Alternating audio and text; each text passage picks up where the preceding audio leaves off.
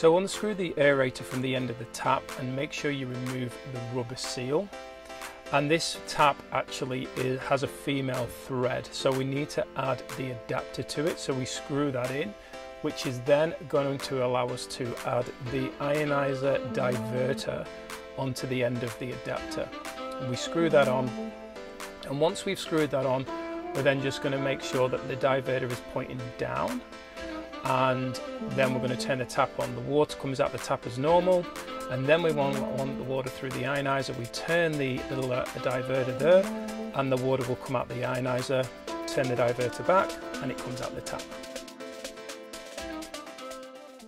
Enjoying my YouTube channel? Please make sure you hit the subscribe button and notification bell to receive further value.